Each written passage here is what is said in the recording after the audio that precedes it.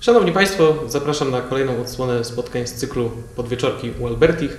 Y, Już y, w środę 30 maja o godzinie 16.30 kolejne spotkanie pod tytułem y, Historyk sztuki na tropie, czyli o poszukiwaniu zaginionych obrazów.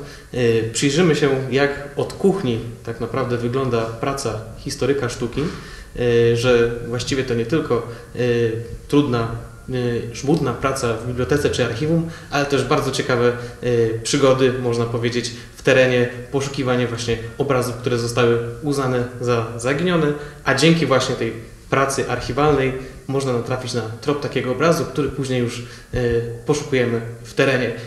Także na kilku przykładach postaram się Państwu przybliżyć, jak to rzeczywiście w praktyce od kuchni wygląda.